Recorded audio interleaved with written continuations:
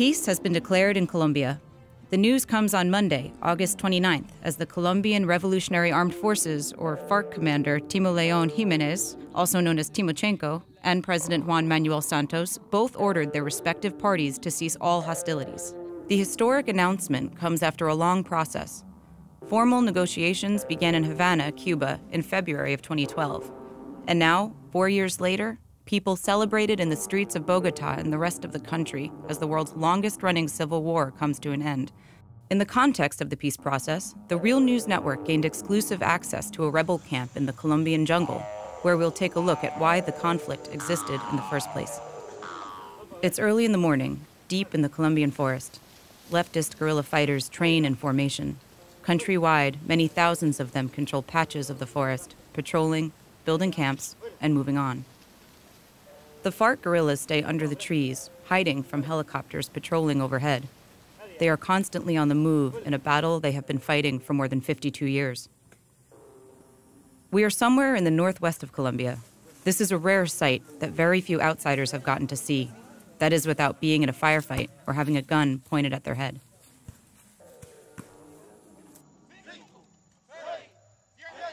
Traditionally defending leftist activists and peasant farmers, or in Spanish, campesinos, from wealthy landowners, the FARC is the oldest insurgent army in the world. What started as a political witch hunt turned into a civil war waged by many factions for control of territory, people, mineral resources, and eventually, drugs. It has also been the cause of an often overlooked refugee crisis. According to a 2013 study by Colombia's National Center for Historical Memory, as many as 220,000 people have lost their lives to this conflict. By 2014, the UN High Commissioner for Refugees announced that more than 6 million civilians have been forced from their homes. This is one of the largest refugee populations in the world, second only to Syria's 7.6 million displaced people. Bueno, teniendo en cuenta las posibilidades que se han tratado desde el principio, desde el nacimiento de las FARC, pues lo que hoy llevamos es, una, es un gran avance. Pues me parece a mí que hemos avanzado bastante. Tenemos una, una proyección real de que puede, podemos dar un paso a una paz real. Commander Mauricio Jaramillo is one of six members of the Political Bureau, FARC's top brass, and also a part of the negotiation commission. Nunca en la historia de los acuerdos posibles con el gobierno, nunca habían pasado el primer punto. Ahora ya hay, eh, en las discusiones y en el avance de la mesa, llevamos todos los puntos vistos de lo que está planteado en la agenda. Issues of land reform, justice for the victims of the conflict, and notably the involvement of the guerrillas with drug trafficking allegedly as a way to fund its fight, have all been discussed at the negotiating table. President Santos promised there will be no impunity for those in the FARC who committed crimes. In Havana, the Colombian government released information about the location of approximately 100,000 bodies of people extrajudicially executed by the state or paramilitary forces who, according to three official inquiries, often did the dirty work for army and government officials. There is now an ongoing national effort to try and identify the victims that, in some cases, were buried in unmarked graves near the places they were found, and in other cases, were piled up in hidden mass graves. Those bodies are now being exhumed and returned to their families. The discovery of most of the graves is not new. It's the result of confessions obtained by the government in previous official investigations. This information was just recently released as part of the peace process. The origin of these killings often lies in the use of so called false positives, or when farmers and civilians were murdered and disguised as guerrilla members by state army officials seeking to advance their careers by producing more enemy kills. Semana, a weekly political magazine that has been publishing for over 30 years, documented cases of army officials accepting money to act in alliance with the paramilitary forces killing civilians, and then using the bodies to produce higher death enemy counts. In this context, President Juan Manuel Santos denied any kind of amnesty for any Colombian military individual or unit that was accused of violating human rights during this conflict. No puede existir amnistías para los miembros de nuestras Fuerzas Armadas. Eso está establecido con toda claridad en las sentencias, por ejemplo, de la Corte Interamericana de Derechos Humanos. The rest of these bodies were produced by the traditional enemy of the FARC, known as the Autodefensas Unidas de Colombia, or AUC, which killed civilians whom they accused of collaborating with the guerrillas. With at least 11 massacres on record, during the second half of the 1980s, the AUC unleashed terror, torture, and rape upon civilians, kidnapping and killing them by the thousands, often whole towns at a time.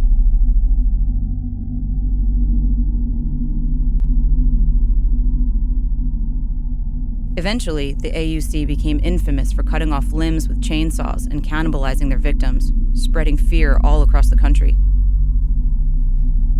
Many times, they used murder and rape to scare farmers from their homes, others acting in collaboration with the army to commit massacres. All of these horrors have been extensively documented over the years. The AUC established a brutal language of death, executing and mutilating anyone accused of being a leftist or a community organizer, leaving their bodies to carry a message for everyone else. These are the bodies that are being exhumed all over the country.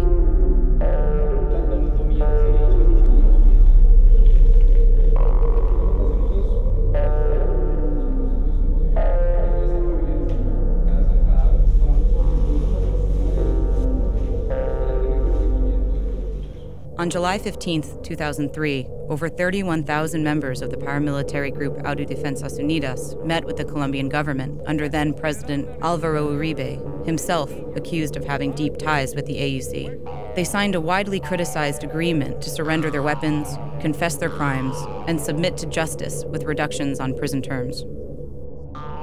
The final document was authorized by Colombian Congress in 2005 under pressure by President Uribe and was revised a year later to provide more strict regulations. It's been over 10 years since then, but much remains the same. The FARC leaders were also pressed by the government to surrender their weapons, but expressed concern that disarming would leave them vulnerable to assassination by paramilitary bands. This was the main concern to be resolved as the insurgents' brass needed to trust that the Colombian government would control the BACRIM, short for criminal bands, or what the neo paramilitary groups are now referred to as. After years of massacres, there is a deep fear that the paramilitary bands have instilled on guerrilla fighters and their sympathizers. Coupled with the distrust toward the Colombian army, it can be understood why some fighters resist the idea of surrendering their weapons up to the very end.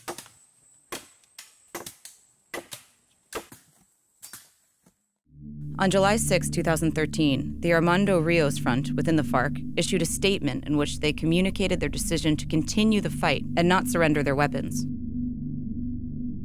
A similar situation happened with the Autodefensas Unidas peace process when some armed bands refused to surrender and stayed armed and mobilized, eventually becoming the BACRIM or criminal bands. President Santos responded with a warning This is your last chance to surrender. You'll end up dead or in a cell. While it is unclear if Commander Isabella Sanroque will join these rebel cells, at the time of the interview, she echoed the sentiment. No, nosotros estamos hablando de, de que vamos a hacer dejación de armas en la medida que hayan unas garantías de seguridad. Jamás hemos hablado de entrega de armas, ni lo vamos a hacer, porque sería como echar a la basura más de 51 años de lucha. Some say the conflict's roots go back more than 51 years and may also go far beyond the country's borders. Many experts, such as Mario Murillo in his book Colombia and the United States War, Unrest, and Destabilization, consider this conflict to be part of the Cold War, where class repression, supported by U.S. foreign policy, restarted a previous 10 year bloody conflict among the same historical liberal versus conservative and rich versus poor factions, spelling the end of several years of a fragile but consensual peace. Murillo describes how, acting in synchrony with the local oligarchy, the U.S. intervened in Colombia's asymmetrical war, supporting and arming special military units, giving military aid and training Army officials at the School of the Americas in Fort Benning, Georgia. These forces then conducted so called strong anti communist repression on rural farmlands, murdering, torturing, and displacing hundreds of thousands. Desde el punto de vista político, en el 64 nosotros estábamos dando los mismos pasos que estamos dando ahora. Es otras épocas, ¿no? Pero es lo mismo. Nosotros estábamos buscando la paz desde el primer momento. Nosotros en el primer momento nosotros buscamos eh, la posibilidad de hablar con el país. Mandamos cartas a todo el mundo, a las universidades, a los intelectuales, eh, y, y, y, realmente no fuimos escuchados en ningún lado. Y el Estado metió una arremetida de 16.000 hombres. This is reflected in the declaration made by the founders of the insurgent group, made on Colombia's Independence Day, July 20th, 1964. Lo que estaban buscando en esa época era lo mismo que estamos planteando ahora, una salida para los problemas de la población. Y bueno, no quisieron desde ese momento, o sea, desde ese momento estamos planteando que el gobierno tiene una perspectiva distinta de cómo es la solución de los problemas. Y siempre la conclusión es que hay una salida violenta al tratamiento de todos los problemas. The persecution in the 60s were repeated in the late 80s and early 90s. Many of the main political figures of the left were hunted down and murdered, including a whole political party called Union Patriotica, and an unknown number of people were disappeared, tortured, and murdered as an example for the rest. Many fear history can repeat itself again because the BACRIM could hunt down the FARC members when they re enter civilian life. Initially, the Colombian government argued that the BACRIM would pose no such threat once the FARC takes up a political role in society, arguing that these new paramilitary groups are motivated by profit, not politics.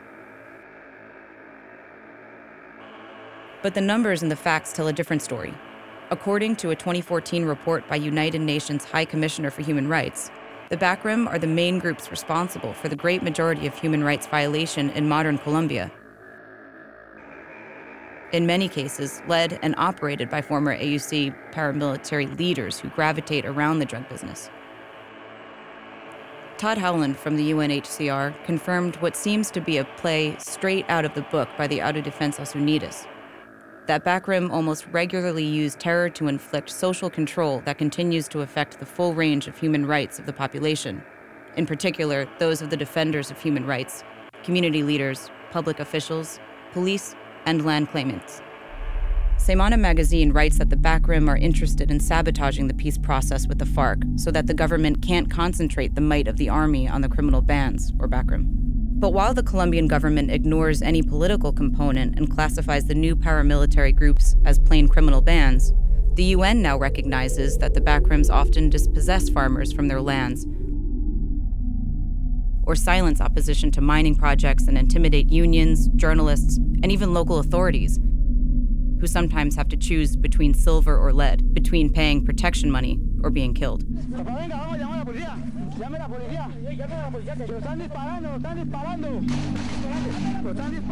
The daily newspaper El Tiempo reports that since 2012, there is a total of 332,000 victims, counting extortion, rape, kidnapping, torture, and land theft. 8,194 assassinations, and 560 disappeared, who are likely to have been murdered as well. Like William Oime, an indigenous governor of a rainforest reserve who opposed a mining project in the jungle, or the 14 year old daughter of a community leader. These cases are just two examples of a broader pattern of terror.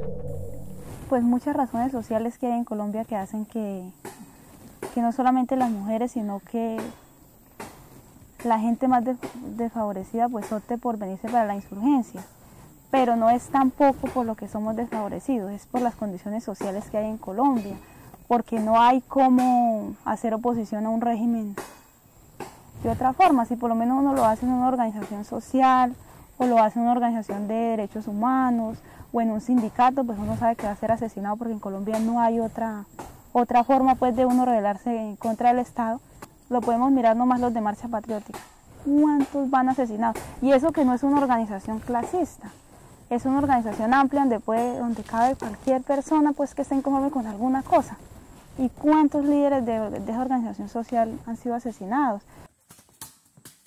Historically, this lack of legal mechanisms to struggle for political power is what motivated many to pick up arms but others were simply trying to defend themselves in some communities from paramilitary forces and military units raiding their towns at night and disappearing people. Estoy en la FARC por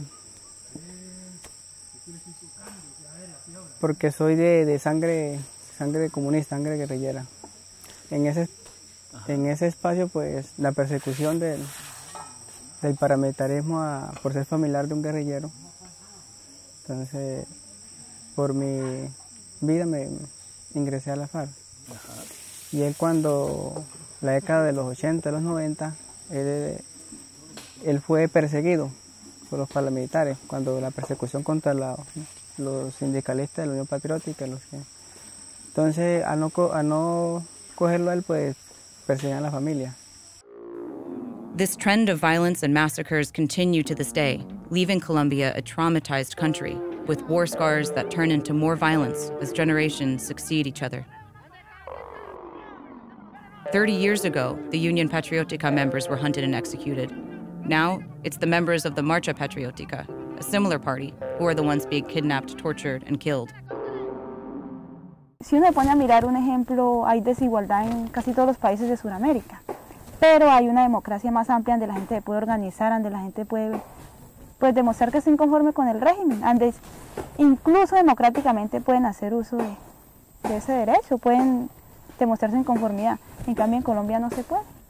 En Colombia, un liberal que está inconforme con alguna cosa del, de- del- del Estado también es perseguido. Lo podemos mirar nomás los de Marcha Patriótica. ¿Cuántos van asesinados? Y eso que no es una organización clasista, es una organización amplia donde, puede, donde cabe cualquier persona pues, que esté inconforme con alguna cosa. ¿Y cuántos líderes de, de organización social han sido asesinados? After decades of conflict and three peace processes Frente Nacional of 1958, the AUC in 2005, and the FARC in 2016 the alarming trend goes on. There are hundreds, if not thousands, of new cases that can be read about in Colombian literature and press.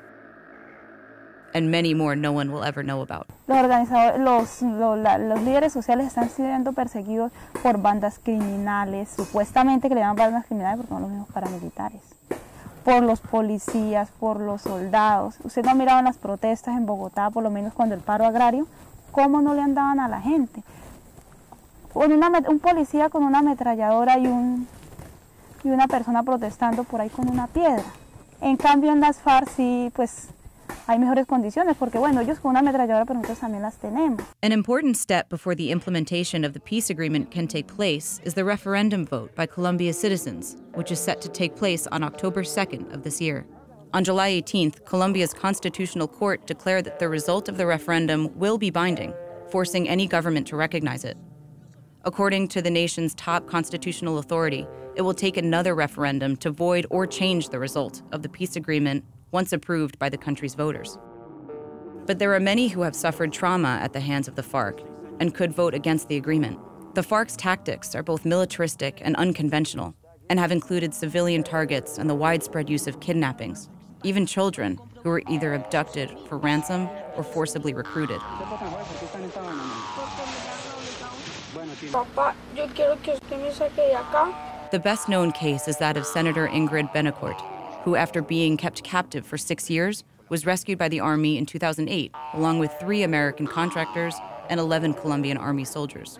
All of this has antagonized a large segment of the population who disapprove such actions by the FARC, especially among the upper and middle class. Additionally, the Colombian right has already started to campaign against the agreement ratification, as it was established by President Juan Manuel Santos since the beginning of the negotiations. In August 2015, there were marches to show opposition to the peace process. Former right wing President Uribe gathered thousands of alleged victims of violence by the FARC. Commander Isabella Sanroque dismisses this as an expression of the ultra right. Entonces, que toda esa gente que se moviliza con Uribe, todo ese fenómeno paramilitar, pues eh, son de las lacras que están ahí socavando el proceso. A highly organized army, the FARC, by July 2016, had become a key player in the country, with an estimated 10,000 mobilized soldiers covering the southeast and northwest of the country. The FARC's power has declined since it peaked in 2007, with around 18,000 armed guerrillas who dominated entire parts of the country. But by the end of the peace process, it still possesses a profound influence on the countryside. The peace agreement that was signed on August 24, 2016, could play a key role in Colombia's future development, replacing internal armed conflict with the construction of political relations between the members of the now antagonistic social groups, which in turn could contribute to the creation of a more inclusive and just society. Entonces yo digo, bueno, que se abran las puertas de la democracia, pero que también hayan garantías, que la gente no la asesinen, que la gente tenga acceso a los medios de comunicación, lo mismo que tienen los partidos tradicionales, que tenga la misma, o sea, que el gobierno financie esos partidos, porque si vamos a hacer como ahorita que dicen que bueno, que los partidos de la gente más humilde tienen ellos mismos que financiarse. Eso no se puede o que una cantidad de firmas, o sea, le ponen trabas a la gente para que la gente no pueda ejercer el derecho al voto, que es una forma también de, de, luchar.